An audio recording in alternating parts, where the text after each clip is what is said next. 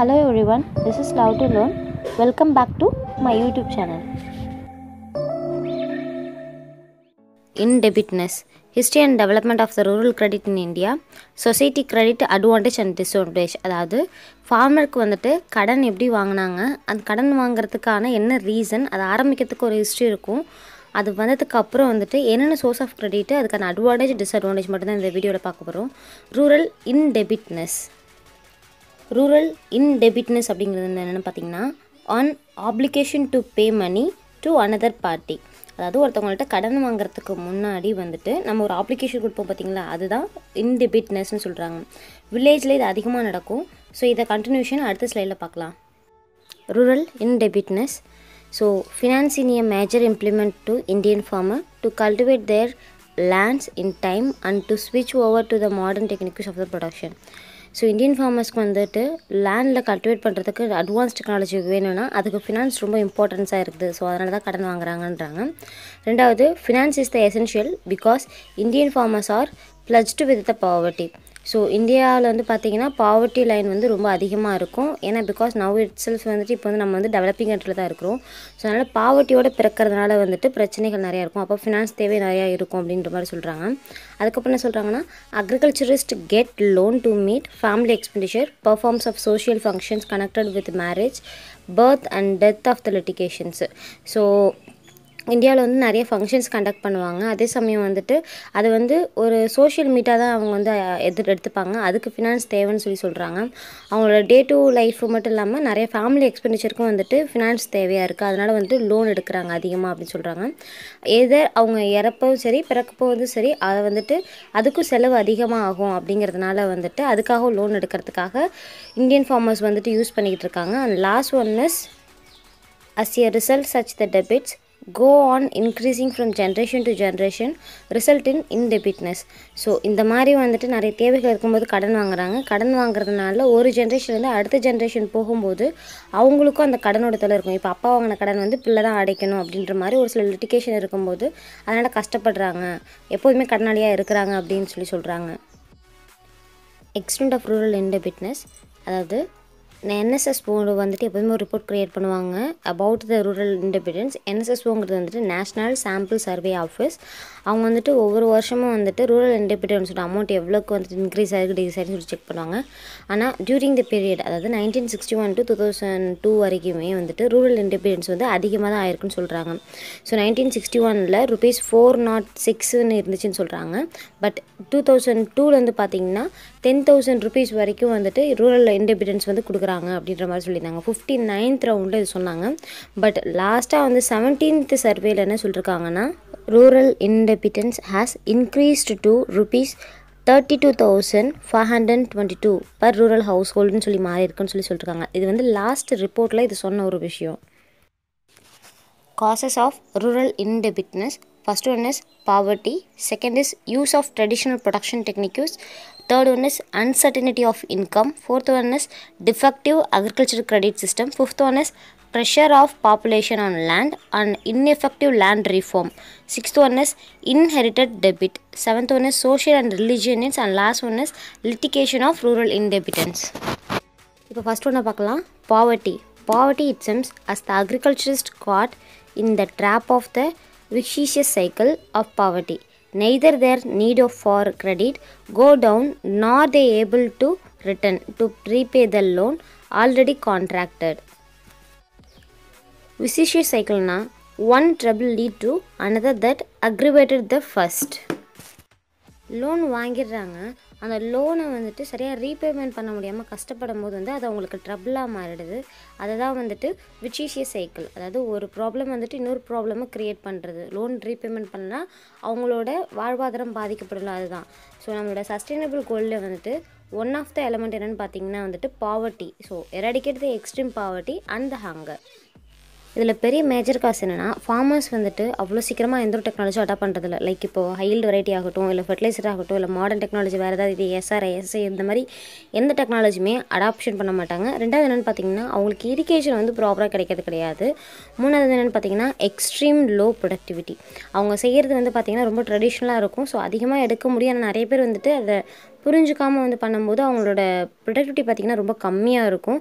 இந்த ஒரு சில ரீசனுங்களால தான் வந்துட்டு அவங்களால இன்டெபிட்னஸ்லேருந்து வெளிலே வர முடியல. அதாவது கடன் தொல்லையிலேருந்து வெளில வர முடியாமல் ரொம்ப கஷ்டப்படுறாங்க. அதுதான் வந்துட்டு use of traditional production technique use மூணாவது என்ன பார்த்தீங்கன்னா uncertainty of income it seems the agriculture is in a form not certain due to the havoc played up by the rainfall havoc it's em it's ems violent and needless disturbance அதாவது தேவையில்லாத பிரச்சனைகளை வந்து கொண்டு வரது தான் வந்துட்டு uncertainty அப்படின்னு சொல்கிறாங்க ஹவா கிட்ஸம்ஸ் மீனிங் அதுதான். ரெண்டாவது என்ன சொல்கிறாங்கன்னா this condition forces the farmer to borrow the even to meet the daily needs so இந்த மாதிரி அழிவு வரும்போது அவங்களுக்கு டெய்லி நீட்ஸே இருக்காது. நல்ல கல்டிவேஷன் இல்லைனா அவங்க வந்து கடன் வாங்க தான் செய்வாங்க. இதுதான் வந்துட்டு ரெண்டாவது ப்ராப்ளமாக சொல்கிறாங்க அன்சர்டனிட்டி ஆஃப் இன்கம் என்ன பார்த்தோன்னா டிஃபெக்டிவ் அக்ரிகல்ச்சர் கிரெடிட் சிஸ்டம் அப்படின்னா ஒரு சிலந்தி வலை மாதிரி மணி கடன் வாங்கும் போது ஃபார்மர்ஸ் வந்து மாட்டிக்கிறாங்க. அதுவும் முக்கியமாக வில்லேஜில் இருக்க பீப்புள் மாட்டிக்கிறாங்கிறத ஃபஸ்ட் ஒன்று village money lending is a like a cobweb ரெண்டாவது once the farmer is entrapped in it he is unable to get out the during his life time ஒரு வாட்டி கடன் வாங்கி மாட்டிக்கிட்டாங்கன்னா அதுலேருந்து வெளில வரதுக்கு ரொம்ப கஷ்டப்படுறாங்க. அப்படின்னு சொல்லிட்டு ஃபோர்த்து ஒரு காசஸை சொல்கிறாங்க pressures of population of the land and ineffective of the land form அதாவது ரூரல் ஏரியாவில் வந்துட்டு பாப்புலேஷன் வந்து அதிகமாகுது. இண்டஸ்ட்ரி டெவலப்மெண்ட் வந்து ஃபெயிலியர் ஆகுது. ஆனால் பாப்புலேஷன் அதிகமாகுது. அப்போ வந்து சர்ப்ளஸ் ரூரல் பாப்புலேஷன் ஆகுதுன்னு சொல்லி சொல்கிறாங்க ரெண்டாவது என்ன சொல்கிறாங்கன்னா இதுக்கு டூ ஃபேக்டர்ஸ் சொல்கிறாங்க ஒன்று small size holding and distinguished unemployment வேலை இல்லாதனால வந்துட்டு பாப்புலேஷன் அதிகமாகுதுன்னு சொல்கிறாங்க சின்ன குடும்பமாக இருக்கிறதுனால வந்துட்டு அப்போ வந்துட்டு ஃபேம் பாப்புலேஷன் அதிகமாகுது லேண்ட் ரீஃபார்ம் ஆகுதுன்னு சொல்லி சொல்கிறாங்க பாப்புலேஷன் அதிகமாகுது அவங்களோட இப்போது ஒரு பர்டிகுலர் ஒரு ஃபேமிலியில் பாப்புலேஷன் அதிகமாக இருக்குன்னா அவங்கள்ட்ட இருக்க கொஞ்ச லேண்டும் குட்டி குட்டி நிலமாக பிரிக்கப்படுவாங்க. அப்படி பிரிக்கப்படும் போது என்ன பண்ணுவாங்கன்னா அந்த லேண்டில் கல்டிவேட் பண்ணி அந்த இன்கம்மை வச்சு கடன் அடைக்க முடியாது. அப்போது கடைசி வரைக்கும் அவங்க கடனாலே தான் இருப்பாங்க. ஏன்னா அவங்களோட கல்டிவேட் பண்ணுற லேண்ட் ரொம்ப கம்மியாக இருக்கும். வர இன்கமும் அப்போ கம்மியாக இருக்கும். அதில் லீவ் பண்ணுறது ரொம்ப கஷ்டமாக இருக்கும். இதுதான் வந்துட்டு சொல்கிறாங்க the land reform like the regulation of the rent consolidation of the holding prevention of the subdivisional and fragmentation distribution of the surplus land to landless laborer were not effective and serious followed. So இதில் வந்துட்டு land இல்லாத ஃபார்மரும் வந்துட்டு கஷ்டப்படுறாங்க. Land இருக்கிற ஃபார்மரும் கஷ்டப்படுறாங்க அப்படின்ற மாதிரி சொல்கிறதா வந்துட்டு land reform and increasing the population of the land inheritance debit அப்படின்னு பார்த்தீங்கன்னா நம்மளோட அப்பாவோட கடன் நமக்கு வந்ததுக்கு அப்புறம் வந்துட்டு நம்ம கடனாளியாகவே பிறக்கிறோம் அப்படின்னுதாங்கிறதா வந்துட்டு இன்ஹெரிடன் டெபிட் இது ரோயல் அக்ரிகல்ச்சர் கமிஷன் வந்து என்ன சொல்லியிருக்காங்கன்னா இந்தியன் ஃபார்மர்ஸை பொறுத்த வரைக்கும் Indian farmers are born in debit live in debit and died in the debit அவங்க அதோடய வாழ்ந்து அதோடய பிறந்து அதோடய இறக்கவும் செய்கிறாங்க அப்படின்றது தான் வந்துட்டு ஒரு ரிப்போர்ட்டாக வந்து சப்மிட் பண்ணியிருக்காங்க. Aptly they are doing that so inheritance டெபிட்டுங்கிறது வந்துட்டு பரம்பரை பரம்பரை இருக்கிற கடனாக கூட இருக்கலாம். இல்லை வந்துட்டு பல தலைமுறைக்கு வாங்குற கடனாக இருக்கலாம். ஆனால் அவங்களோட சொந்தத்தில் ரத்தத்தில் இருக்கிறவங்க மட்டும்தான் அதை அடைப்பாங்க. அதுதான் இன்ஹெரிட்டன் டெபிட் அது பெரிய காசஸாக இருக்குன்னு சொல்லிட்டு சொல்கிறாங்க செவன்த் ஒன்று வந்து சோஷியல் அண்ட் ரிலீஜியஸ் நீட் அப்படின்னா அதாவது அவங்களோட நிறையா டே டு லைஃப்பில் வந்துட்டு அவங்க ரிலீஜியஸில் நிறைய ஃபங்க்ஷன் செலிப்ரேட் பண்ணுவாங்க. அதுக்காக வந்துட்டு அதிகமாக கடன் வாங்குறதுன்னு சொல்கிறாங்க ரெண்டாவது வந்துட்டு they are are not meet out the savings and earnings so அதில் வந்து எந்த ஒரு பகுதியும் அவங்க சேவ் பண்ணவும் இல்லை ஏர்ன் பண்ணவும் இல்லைன்னு சொல்லி சொல்கிறாங்க அதுக்கப்புறம் அவங்களோட ப்ரொடக்டிவிட்டி பர்பஸை தவிர்த்து மற்றது எல்லாமே வந்துட்டு அவங்களுக்கு பேர்டனாக இருக்குது ஃபேமிலி எக்ஸ்பெண்டிச்சரோ இல்லை வேறு ஏதாவது கடன் வாங்குறாங்கன்னா அது வந்துட்டு அவங்களுக்கு கஷ்டமாக இருக்குதுன்ற மாதிரி சொல்கிறாங்க லாஸ்ட் என்ன சொல்கிறாங்கன்னா moreover they are indulging in conspicuous consumption due to the demonstration effect என்னென்னா litigation litigation it seems legal ப்ரொசீஜர்னு அர்த்தம் அதாவது ஃபார்மர்ஸை பொறுத்த வரைக்கும் அன்ப்ரொடக்டிவ் எக்ஸ்பெண்டிச்சர் வந்து அதிகமாகச்சுன்னா அவங்களோட இன்கம் ரெடியூஸ் ஆகும் அதே சமயம் அவங்க வாங்குற லோன் அமௌண்ட் கடனும் அதிகமாக அவங்களுக்கு தெரியறது கிடையாது. ஆனால் அதை வந்துட்டு நம்ம வாங்கும்போது ஒரு சில லிட்டிகேஷன்ஸ் வந்து அவங்க ஃபேஸ் பண்ணி தான் ஆகணும் என்னென்னு பார்த்தீங்கன்னா go to the court laws so court law என்னென்ன இருக்கோ அதை மட்டும்தான் வந்துட்டு அவங்க ஃபாலோ பண்ணுற மாதிரி இருக்கும். ஸோ இந்த ப்ராப்ளம்ஸில் வந்துட்டு எயித் காசஸாக வந்து லிட்டிகேஷன் சொல்கிறாங்க காசஸ் எட்டு பார்த்தோம். அதுக்கப்புறம் பார்த்தீங்கன்னா கான்சிக்வன்ஸ் ஆஃப் ரூரல் இண்டிபெண்டன்ஸ் மூணு இருக்குது ஒன்று எக்கனாமிக் கான்சிக்வன்ஸ் ரெண்டாவது சோஷியல் கான்சிக்வன்ஸ் மூணாவது வந்து பொலிட்டிக்கல் கான்சிக்வன்ஸ் ஃபஸ்ட்டு ஒன்று என்னென்னு பார்த்தீங்கன்னா எக்கனாமிக் கான்சிக்வன்ஸ் எக்கனாமிக் கான்சிக்வன்ஸ்னு என்னென்னு பார்த்தீங்கன்னா ஃபார்மர்ஸ்க்கு வந்துட்டு நிறைய சஃபர் ஆகிறாங்க கல்டிவேட் பண்ணும்போது. அது வந்து எஃபெக்ட் எஃபிஷியன்டி ஃபார்மை கொடுக்கறது கிடையாது. அதே சமயம் அக்ரிகல்ச்சர் டெவலப்மெண்ட்டும் பண்ணுறது வந்து ரொம்ப கம்மியாக இருக்குது அதுதான் ஃபஸ்ட் ஒன்று ரெண்டாவது என்னென்னு பார்த்தீங்கன்னா hit hard through the adverse terms of trade terms of trade பொறுத்த வரைக்கும் ஃபார்மர்ஸ்க்கு வந்துட்டு நிறைய அடி விழுதுன்னு சொல்லி சொல்கிறாங்க மூணாவது வந்து whole process the contracting loan payment of interest repayment of principal எல்லாமே வந்துட்டு அவங்களுக்கு அதிகமாக இருக்குது ஸோ அப்படி அதிகமாக இருக்கும்போது அவங்க லேண்டே வந்து சீஸ் பண்ணுற மாதிரி ஆயிடுது அப்படின்னு சொல்லி சொல்கிறாங்க ரெண்டாவது வந்து சோஷியல் கான்சிக்வன்ஸ் இது என்னென்னு பார்த்தீங்கன்னா ஒரு emotional relation between loan giver and loan receiver கடன் கொடுக்குறவங்களுக்கும் வாங்குறவங்களுக்கும் ஒரு ரிலேஷன்ஷிப்பை மெயின்டைன் பண்ணுவாங்க. ரெண்டாவது என்ன சொல்கிறாங்க ரெண்டு கிளாஸாக இதை பிரிக்கிறாங்க. ஒன்று வந்து எக்ஸ்ப்ளாய்டிங் அண்ட் அனதர் ஒன்று எக்ஸ்ப்ளாய்டு கிளாஸஸ்ன்னு ரெண்டு கிளாஸாக பிரிக்கிறாங்க. And one more thing landless அதாவது கட் லவ் லேண்டே இல்லாதவங்க வந்து பார்த்திங்கன்னா இதில் அதிகமாக அஃபெக்ட் ஆகிறாங்க. எக்கனாமிக்லி அவங்க பேக்வர்டாகவும் இருக்கிறாங்க. அதே சமயம் வந்துட்டு அவங்க வந்துட்டு ஒரு கீழ்நிலைக்கு தள்ளப்படுறாங்க அப்படின்றது ரெண்டாவது ஒரு விஷயம் சொல்கிறாங்க மூணாவது என்னன்னு பார்த்தீங்கன்னா the heavily இன்டெபிட்டன்ட் farmer lose even that the human எக்ஸிஸ்டன்ஸ்னு சொல்கிறாங்க பொலிட்டிக்கல் கான்சிக்வன்ஸ் இது வந்து எப்போ பார்த்திங்கன்னா ஆஃப்டர் இண்டிபெண்டன்ஸ் வந்துட்டு பொலிட்டிக்கல் பார்ட்டிஸ் மூலயமா வந்துட்டு கடன் வாங்கியிருந்த எல்லா பீப்புள்ஸையும் வந்துட்டு மீட் எடுத்தாங்க அதுதான் வந்து பொலிட்டிக்கல் கான்சிக்வன்ஸ் இது எப்போ நடந்துச்சுன்னா ஆஃப்டர் இண்டிபெண்டன்ஸ்க்கு அப்புறம் தான் நடந்துச்சு. இதுக்கு என்ன ஆக்ட்னு பார்த்திங்கன்னா என்ஆக்ட்மெண்ட் ஆஃப் த லா அப்படின்னு சொல்கிறாங்க இது யாருக்கு ஃபேவராக இருந்துச்சுன்னு பார்த்தீங்கன்னா இன்டெபிட்டன்ஸ் ஃபார்மர் கடன் வாங்கி கடனுக்கு கீழே நசுங்கின ஃபார்மர்ஸ்க்காக கொண்டு வந்தப்பட்டதுனால தான் இது. இது எப்போ நடந்துச்சுன்னா ஆஃப்டர் இண்டிபெண்டன்ஸ்க்கு அப்புறம் தான் நடந்துச்சு. Remedies for rural indebtedness first ஒரு ரெமெடி என்னென்னு பார்த்தீங்கன்னா settlement of the old debit ரெண்டாவது கண்ட்ரோல் ஆஃப் நியூ லோன்ஸ் மூணாவது reducing the burden of the present indebtedness first one வந்து settlement of the old debts அப்படின்னா ஸ்டேட் கவர்மெண்ட் வந்துட்டு weaker section people எதிராக அவங்க ஸ்மால் அண்ட் மேஜில் ஃபார்ம்ஸாக இருக்கலாம். அதே சமயம் அண்டர் கம்ஸ் ஃப்ரம் வீக்கர் செக்ஷனாக இருக்காங்கன்னா அவங்களுக்கு லோன் வந்து நான் இன்ஸ்டியூஷனில் இருக்கிற கடனை வந்துட்டு எப்படி தள்ளுபடி பண்ணலாம் எப்படி அவங்களுக்கு ஹெல்ப் பண்ணலாம் அப்படின்னு பார்க்குறதா வந்துட்டு செட்டில்மெண்ட் ஆஃப் ஓல்ட் டெபிட் அதில் ரெண்டு இருக்குது ஒன்று வந்து என்னென்னு பார்த்தீங்கன்னா reducing the present indebtedness consistent of the following three aspect மூணு விஷயத்தை வச்சு பண்ணுறது இன்னொன்று வந்துட்டு scaling down of the certain debts so first one வந்துட்டு ரெடியூஸ் த இன்டெபிடன்ஸ்க்கு வந்துட்டு த்ரீ ஆஸ்பெக்ட் இருக்குது ஃபஸ்ட் ஆஸ்பெக்ட் வந்து பார்த்தீங்கன்னா cancellation of the those debts so இது வந்து கவர்மெண்ட்டே கேன்சல் பண்ணணும். அது பிரின்சிபல் இட்ஸ் எல்லாத்தையுமே கேன்சல் பண்ணுறது ஃபஸ்ட் ஒன்று ரெண்டாவது என்ன பார்த்தீங்கன்னா inflated by the money lenders அதாவது யாரெல்லாம் பொய்யா இருக்காங்களோ அவங்கள வந்து கண்டுபிடிச்சி எரடிகேட் பண்ணிவிட்டு யார் உண்மையாக இருக்காங்களோ அவங்க உண்மையான ஃபார்மர்ஸ் யாரோ அவங்களுக்கு வந்து கடன் தள்ளுபடி பண்ணுறது மூணாவது என்னென்னு பார்த்தீங்கன்னா அவங்களோட அக்கௌண்ட்டில் இருக்கிற மணி அமௌண்ட்டை வந்துட்டு ரீபேமெண்ட் கெப்பாசிட்டி எப்படி இருக்குன்னு பார்த்துட்டு அவங்களோட ஹானஸ்டியும் பார்த்ததுக்கப்புறம் repayment made in the kind of other services like the labour ரெண்டாவது என்ன சொல்லியதுன்னா ஸ்கேலிங் டவுன் அண்ட் சர்டைன் டெபிட் அப்படின்னு என்னென்னு பார்த்தீங்கன்னா நம்மளோட பேரண்ட்டோட கடனோ இல்லை அதுக்கு முன்னாடி நம்மளோட கிராண்ட் பேரண்ட்டோட கடனையும் வந்து நம்ம அடைக்கிறோன்னா அவங்களுக்கு வந்து இந்த சலுகைகள் இருக்கும். அது எதை பேஸ் பண்ணியிருக்குன்னா அவங்களோட ரீபேமெண்ட் கெப்பாசிட்டி அதுவும் குறிப்பிட்ட பீரியடில் அவங்க எப்படி பே பண்ணியிருக்காங்க அப்படின்னு அவங்க ஹானஸ்ட்டை பேஸ் பண்ணி தான் வந்துட்டு scaling down of the certain debts இருக்குது. ஸோ அதுக்கப்புறம் வந்து பார்த்திங்கன்னா அதை எக்ஸ்டெண்ட் பண்ணுறதா இல்லை க்ளோஸ் பண்ணுறதாங்கிறது வந்துட்டு இதை பேஸ் பண்ணி வந்துட்டு பண்ணுவாங்க. அதுக்கு பேர் வந்துட்டு பார்த்திங்கன்னா லிரானின்னு சொல்லுவாங்க. லிரானி அப்படின்னு பார்த்தீங்கன்னா டெபிட் ஷுட் பி ரெடியூஸ்டு அதுதான் வந்து லிரானின்னு சொல்லுவாங்க.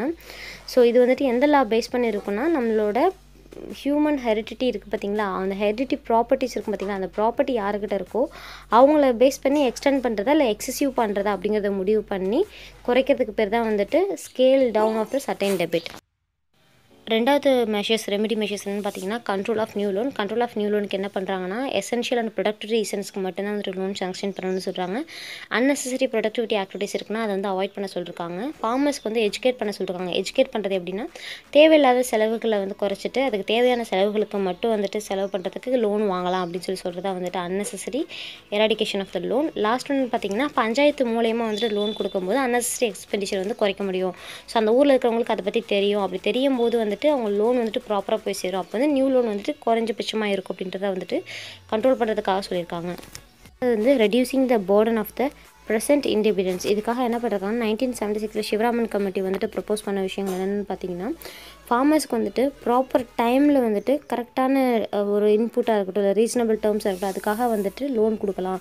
அப்படி கொடுக்கும்போது அவங்களோட இன்கம் அதிகமாகும் அவங்க நெட்ஒர்க்கும் அதிகமாகும். அப்படி ஆகும்போது வந்துட்டு அவங்க ஈஸியாக வந்துட்டு லோன் ரீப்பே பண்ண பண்ண முடியும். ப்ரெசன்ட் இன்டெபிட்ஸ்லேருந்து அவங்கள வந்து காப்பாற்ற முடியும் அப்படின்னு சொல்லி சொல்கிறாங்க ரெண்டாவது என்ன சொல்கிறாங்கன்னா சோஷியல் ரிலீஜியஸ் ஃபங்க்ஷன் பண்ணுறாங்கன்னா அது இன்னெவிட்டபிள் ஒன்றா இருக்குன்னா அதை வந்துட்டு அவாய்ட் பண்ணுறது நல்லது. இல்லை அதுக்கேற்ற மாதிரி அரேஞ்ச் பண்ணுற க்ரெடிட் வந்துட்டு ரொம்ப கொஞ்சம் ஸ்மூத்தாக இருக்கும். அது கொஞ்சம் ஈஸியாக இருக்கும் அப்படின்னு சொல்கிறது தான் வந்துட்டு என்ன சொல்கிறாங்கன்னா கண்ட்ரோல் பண்ண சொல்கிறாங்க இப்படி பண்ணும்போது வந்து பார்த்திங்கன்னா reduce the burden present indebtedness அப்படின்னு சொல்லி சொல்கிறாங்க இப்போ ப்ரெசென்ட்டில் வந்து ஏதாவது பிரச்சனை இருக்கும்போது அதை வந்து எரடிகேட் பண்ணி ஃபார்மர்ஸ் வந்து சேவ் பண்ண முடியும்னு சொல்கிறாங்க ஒரு சில கன்செப்ஷன் லோன்ஸ் வந்து கொடுக்கலான்னு சொல்கிறாங்க like marriage birth and death religious and medicinal expense இந்த மாதிரி விஷயத்துக்காக வந்துட்டு கவர்மெண்ட்டோ இல்லை கோஆப்ரேட்டிவ் நேஷனலைஸ் பேங்க்கோ ஸோ ஸ்மால் அண்ட் மார்ஜினல் ஃபார்மர்ஸ்க்கு வந்துட்டு ஹெல்ப் பண்ணுறது தப்பு இல்லை. ஸோ அப்படி பண்ணும்போது வந்துட்டு டெபிட்னஸ் குறைக்கலாம் அப்படின்னு சொல்கிறாங்க அந்த ரெண்டாவது ரெண்டு பார்த்தீங்கன்னா ரிட்டர்ன் திஸ் லோன்ஸ் அதாவது ஒரு சில லோன் கிளாஸ் லோன்ஸ் இருக்குல்ல அதை வந்துட்டு என்ன பண்ணலாம்னா எனாபிள் பண்ணி அவங்கள வந்து எரடிகேட் பண்ணி அவங்கள வெளில தள்ளலாம்.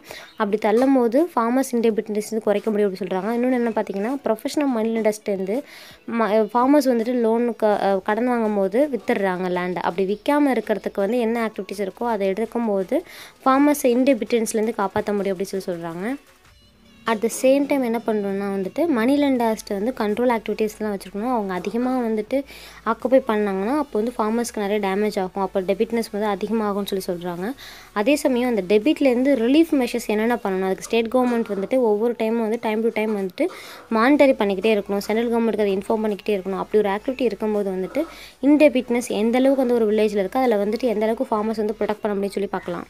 ஸோ இது எல்லாத்தையும் அனலைஸ் பண்ணி நம்ம இந்தியாவில் வந்துட்டு ஒரு கிரெடிட் சிஸ்டம் கொண்டு வராங்க. அது எப்படின்னு பார்த்தீங்கன்னா ரெண்டு கிரெடிட் சிஸ்டமாக போய்க்கிறாங்க அக்ரிகல்ச்சர் கிரெடிட் சிஸ்டம் பொறுத்த வரைக்கும் ரெண்டு இருக்குது ஒன்று நான் இன்ஸ்டியூஷனல் இன்னும் இன்ஸ்டியூஷனல் நான் இன்ஸ்டியூஷனலை பொறுத்த வரைக்கும் money lenders trader and commission agent friends and relatives landlord money லெண்டாஸ்லேயே வந்து ப்ரொஃபஷனல் மணி லெண்டாஸும் இருக்காங்க. அக்ரிகல்ச்சர் மணி லெண்டாஸும் இருக்கிறாங்க. ஸோ இவங்க எல்லாருமே வந்து நான் இன்ஸ்டியூஷனல் கிரெடிட் சிஸ்டம் இந்தியாவுக்கு கீழே வருவாங்க. ஸோ ரெண்டாவது இருந்தால் என்ன பார்த்தோம்னா இன்ஸ்டியூஷன் ஏஜென்சின்னு பார்த்துருந்தோம். இன்ஸ்டியூஷன் ஏஜென்சி கீழே ரெண்டு விஷயம் தான் ஒன்று கவர்மெண்ட் இன்னொன்று ஆர்பிஐ ஆர்பிஐ கீழே தான் நபார்டு வருவாங்க. நபார்டுக்கு கீழே வந்துட்டு நாலு டைப் வருது. ஒன்று கோஆப்ரேட்டிவ் இன்னொன்று commercial bank commodity board and foreign பேங்க்னு சொல்கிறாங்க கோஆப்ரேட்டிவ் வந்து ரெண்டு டைப்பாக பிரியுது. ஒன்று ஸ்டேட் கோஆப்ரேட்டிவ் பேங்க் இன்னொன்று வந்து ஸ்டேட் லேண்ட் டெவலப்மெண்ட் பேங்க்னு சொல்கிறாங்க ஸோ ஸ்டேட் கோஆப்ரேட்டிவ் பேங்க்கில் டிசிசிபி ஸ்டேட் லேண்ட் டெவலப்மெண்ட் பேங்க்கில் பிஎல்டிபி ஸோ டிசிசிபி கீழே வந்துட்டு மூணு விஷயம் இருக்குது ஒன்று பிஏசிபி எல்ஏஎம் பிஎஸ் இன்னொன்று வந்துட்டு எஃப்எஸ்எஸ் ஸோ மூணு விஷயம் வந்து டிசிசிபிக்கு கீழே இருக்குது. ஸோ கமர்ஷியல் பேங்க் பொறுத்த வரைக்கும் ரெண்டே விஷயம் தான் ஒன்று ப்ரைவேட் செக்டர் இன்னொன்று வந்து பப்ளிக் செக்டர் பப்ளிக் செக்டருக்கு கீழே வந்து பார்த்திங்கன்னா rural branch agriculture development branch இன்னொன்று வந்துட்டு ஆர்ஆர்பி ரீஜனல் ரூரல் பிரான்ச்சுன்னு சொல்லி சொல்லுவாங்க. இல்லை ரீஜனல் ரூரல் பேங்க்னு சொல்லலாம். ஸோ கமாடிட்டி போர்டுக்குலாம் நிறைய போர்டு இருக்குது காயர்பிக் board coffee board rubber board இந்த மாதிரி நிறைய போர்ட்ஸ் இருக்குது அதுக்கப்புறம் ஃபாரின் பேங்க் வந்து அமெரிக்கன் பேங்க்ஸ் இந்த மாதிரி வந்துட்டு வெளிநாட்டிலேருந்து வந்திருக்க எல்லா பேங்க்குமே வந்து ஃபாரின் பேங்க்னு சொல்லுவாங்க. ஸோ ஸ்டேட் கோஆப்ரேட்டிவ் கீழே டிசிசிபின்னு சொல்லியிருந்தேன். டிசிசிபினா டிஸ்ட்ரிக்ட் சென்ட்ரல் கோஆப்ரேட்டிவ் பேங்க்னு சொல்லுவாங்க. அதுக்கு கீழே மூணு விஷயம் சொல்லியிருந்தேன். பிஏசிபினா ப்ரைமரி அக்ரிகல்ச்சர் கோஆப்ரேட்டிவ் கிரெடிட் சொசைட்டின்னு சொல்லுவாங்க. இன்னொன்று என்ன சொன்னேன் எல்ஏஎம்பிஎஸ்ன்னு சொல்லியிருந்தேன். அப்படின்னா large sized Adivasi multipurpose cooperative சொசைட்டின்னு சொல்லுவாங்க. எஃப்எஸ்எஸ்னால் வந்து பார்த்திங்கன்னா ஃபார்மர் சர்வீஸ் சொசைட்டின்னு சொல்லுவாங்க. ஸ்டேட் லேண்ட் டெவலப்மெண்ட் பேங்க்கில் வந்துட்டு பிஎல்டிபி சொல்லியிருந்தேன். பிஎல்டிபினா ப்ரைமரி லேண்ட் டெவலப்மெண்ட் சொல்லுவாங்க. இது எல்லாமே சேர்ந்து தான் வந்து institutional agency of credit system in India first ஒன்று பார்த்துருந்தா நான் இன்ஸ்டியூஷனல் ஏஜென்சி பார்த்துருந்தோம். அப்படின்னு என்னென்னு பார்த்தீங்கன்னா அன்ஆர்கனைஸ்டு ஏஜென்சி ஸோ ஃபார்மர்ஸ்க்கு வந்துட்டு எப்போதுமே வந்துட்டு கவர்மெண்ட் செக்டர்ஸ்க்கு கீழே அவங்க இருக்க மாட்டாங்க. அவங்க வந்துட்டு கவர்மெண்ட்டுக்கு இல்லாமல் அன்கவர்மெண்ட்டில் இருக்கிறது தான் வந்துட்டு நான் இன்ஸ்டியூஷனல் ஏஜென்சி சொல்லுவாங்க. அவங்க ஃப்ரெண்ட்ஸாக இருக்கலாம் இல்லை ரிலேட்டிவ்ஸாக இருக்கலாம் இல்லை கடன் கொடுக்குற ப்ரொஃபஷனல் மணி லெண்டர்ஸாக இருக்கலாம் இல்லை அக்ரிகல்ச்சருக்குன்னு கடன் கொடுக்குற பர்சன்ஸாக இருக்கலாம். இவங்க எல்லாருமே வந்து நான் இன்ஸ்டியூஷன் ஏஜென்சி கீழே தான் வருவாங்க. இன்ஸ்டியூஷனல் ஆர்கனைஸ்டு ஏஜென்சினா கவர்மெண்ட் கீழே இருக்கிறதா வந்துட்டு இன்ஸ்டியூஷனல் ஏஜென்ட்னு சொல்லுவாங்க. அதில் மேஜர் இன்ஸ்டியூஷன் பார்த்தீங்கன்னா கவர்மெண்ட் இன்னும் வந்துட்டு ஆர்பிஐன்னு பார்த்தீங்கன்னா Reserve Bank of India NABARD வந்து பார்த்தீங்கன்னா National Bank for Agriculture and Rural Development commercial பேங்க்னு இருக்குது அதுக்கப்புறம் ரீஜனல் ரூரல் பேங்க் அதுக்கப்புறம் கோஆப்ரேட்டிவ்ஸ் இது எல்லாமே வந்துட்டு ஆர்கனைஸ்ட் ஏஜென்சி சொல்லுவாங்க. Institutional agency were started functioning only during the early part of the twenty century so அப்போ தான் வந்துட்டு ஸ்டார்ட் பண்ணாங்க. அதுக்கு முன்னாடி வந்துட்டு நான் இன்ஸ்டியூஷனல் ஏஜென்சி தான் இருந்தாங்க. நிறைய மணி லெண்டர்ஸ் வந்துட்டு ஃபார்மர்ஸ் அதன் மூலிமா ரொம்ப கஷ்டப்பட்டுட்டு நான் அவங்களோட லேண்ட் எல்லாத்தையுமே இழந்துட்டு இருந்தாங்க. So after the twenty century தான் வந்துட்டு இன்ஸ்டியூஷனல் ஏஜென்சி வந்துச்சு. கவர்மெண்ட்டை பொறுத்த வரைக்கும் ரெண்டு ஃபினான்ஸ் இருக்குது ஒன்று டைரக்ட் ஃபினான்ஸு இன்னொன்று வந்து இன்டைரக்ட் ஃபினான்ஸு ஸோ டைரக்ட் லோனுங்கிறது வந்து பார்த்திங்கன்னா ஏதோ பஞ்சம் இல்லைனா வந்து தண்ணி ஏதாவது வந்துருச்சுன்னா ஃப்ளட்டு இல்லை ட்ரவுட் அந்த மாதிரி வந்துச்சுன்னா அப்போ வந்து ஃபார்மர்ஸ்க்கு டைரெக்டாகவே வந்து ப்ரொவைட் பண்ணி அவங்களோட டிஸ்ட்ரெஸ்லேருந்து ரிலீஃப் பண்ணுறதுக்காக கொடுக்குறதா வந்து டைரக்ட் ஃபினான்ஸு ஸோ இது வந்து என்ன பண்ணாங்கன்னா எயிட்டீன் எயிட்டி த்ரீல லேண்ட் இம்ப்ரூவ்மெண்ட் லோன் ஆக்ட்னு கொண்டு வராங்க. எயிட்டீன் எயிட்டி ஃபோரில் வந்துட்டு அக்ரிகல்ச்சரிஸ்ட் லோன் ஆக்ட்னு கொண்டு வந்திருக்காங்க. அதே சமயம் இப்போ last பீரியட்லேருந்து long and short term financial அசிஸ்டன்ஸும் the farmers agriculture development and also the relief the measures during the distress time so இவங்க எல்லாருக்கும் ஹெல்ப் பண்ணுறதுக்காக டைரெக்டாக வந்துட்டு கொடுக்குறதா வந்துட்டு டைரக்ட் ஃபினான்ஸ் டைரக்ட் ஃபினான்ஸோட அட்வான்டேஜ் என்ன பார்த்தீங்கன்னா grant for the long period low interest rate repayment plan is the convenient that is equivalent to the annual instalment so அவங்க எந்த டைமில் வேணாலும் பே பண்ணிக்கலாம். ஸோ அந்த லோனோட பீரியடுக்கு ஏற்ற மாதிரி வந்துட்டு லோனோட எக்ஸ்டெண்ட் பண்ணிக்க முடியும் பே பேமெண்ட் பீரியடை அப்படிங்கிறது தான் இதோட பெரிய அட்வான்டேஜ்னு சொல்கிறாங்க disadvantage of the direct finance direct finance பொறுத்த வரைக்கும் இது எல்லாரும் இங்கே பெனிஃபிட் ஆகிறதுலன்னு ஃபஸ்ட்டு ஒரு விஷயம் சொல்கிறாங்க ரெண்டாவது என்ன சொல்கிறாங்கன்னா இது வந்து குவாண்டம் லோனாக இருக்கும் போது வந்துட்டு வேல்யூ ஆஃப் செக்யூரிட்டி ஆஃபர் பண்ண வேண்டியதாக இருக்குதுன்னு சொல்கிறாங்க மூணாவது வந்துட்டு இது வந்து ஸ்ட்ரெஸ்லேருந்து ரிலீஃப் பண்ணுது. ஆனால் ப்ரொடக்ஷன் பர்பஸ் பொறுத்த வரைக்கும் ரிலீஃப் ஆகிறது கிடையாது அப்படின்னு சொல்கிறாங்க நாலாவது வந்து பார்த்திங்கன்னா அதிகமாக லேண்ட் இருக்கிறவங்க இதை வந்து அஃபெக்ட் பெனிஃபிட் ஆகிக்கிறாங்க அதாவது ரிச் லேண்ட் லாஸ் வந்து பெனிஃபிட் ஆகிக்கிறாங்க ஆனால் ஸ்மால் அண்ட் மார்ஜினல் ஃபார்மர்ஸ் வந்துட்டு இனாஃப் சோர்ஸ் ஆஃப் ஃபண்டு கிடைக்கிறதில்ல அப்படின்னு சொல்கிறாங்க ஆக்சுவல் பெனிஃபிஷர் யாருன்னு வந்துட்டு பார்த்திங்கன்னா லார்ஜ் ஃபார்மர்ஸாக தான் இருக்கிறேன்னு சொல்கிறாங்க அதே சமயம் லேண்டே இல்லாத பர்சன்ஸ் வந்து இதுலேருந்து எந்த ஒரு டிஸ்ட்ரெஸ்மே ஆகிறதில்ல அப்படின்னு சொல்லி சொல்கிறாங்க இதுதான் demerits of direct finance indirect finance பொறுத்த வரைக்கும் ஃபஸ்ட் ஒரு விஷயம் என்ன சொல்கிறாங்கன்னா allocation of the fertiliser according to the need and arranges of the distribution of the input through the licence adequate the number of அவுட்லெட்னு சொல்கிறாங்க ரெண்டாவது வந்து provide the technical assistant to the farmer through the training and visiting programme மூணாவது in consultation of the RBI in prescribed the interest rate charge to and the loan granted to the farmer in the various category நாலாவது வந்து பார்த்திங்கன்னா it introduce the crop insurance order to cover the risk of farmer ஃபார்மர்ஸ்க்கு என்ன need இருக்கோ அந்த நீடுக்கு ஏற்ற மாதிரி வந்து என்னென்ன ஃபெர்டிலைசர் அலோகேட் பண்ணிருக்காங்களோ என்னென்ன க்ராப் கல்டிவேட் பண்ணிருக்காங்களோ அதுக்கேற்ற மாதிரி வந்து இன்புட் ப்ரொவைட் பண்ண சொல்லியிருக்காங்க ரெண்டாவது ஃபார்மர்ஸ்க்கு வந்துட்டு ஒரு டெக்னிக்கல் அசிஸ்டன்ஸ் வந்து கொடுத்து அவங்களுக்கு வந்து ட்ரைனிங் அண்ட் விசிட்டிங் ப்ரோக்ராம் மாதிரி அவங்களுக்கு ரெடி பண்ண சொல்லியிருக்காங்க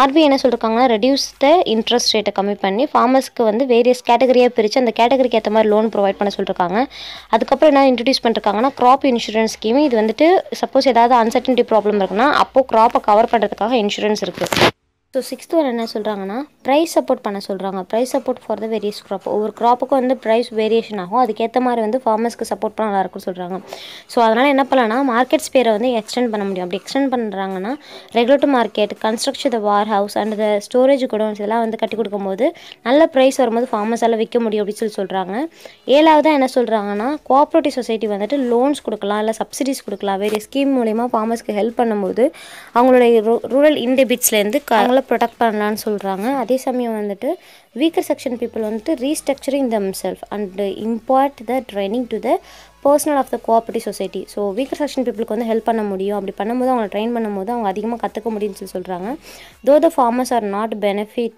directly by the state contribution they enable the institution to serve the farmer with the great momentum so அப்படி ட்ரெயின் பண்ணும்போது ஃபார்மர்ஸ் வந்துட்டு நல்லா டெவலப் ஆவாங்க. அதே சமயம் டைரெக்டாக பெனிஃபிட் ஆகாமல் இன்டைரக்டாக பெனிஃபிட் ஆவான்னு சொல்கிறாங்க இன்டைரக்ட் ஃபினான்ஸ் பொறுத்த வரைக்கும் ஃபார்மர்ஸ்க்கு வந்து டைரெக்டாக ஹெல்ப் பண்ண மாட்டாங்க. இன்டெரக்டாக தான் ஹெல்ப் பண்ணுவாங்க. ஸோ அது வந்து அவங்களோட டெவலப்மெண்ட் ஆக்டிவிட்டீஸ்க்காக மட்டும்தான் இருக்கும். ஸோ இதுதான் வந்து indirect finance for credit system India thank you for வாட்சிங் and keep on the love to learn art is long and life is short so keep going and keep enjoying the love to learn videos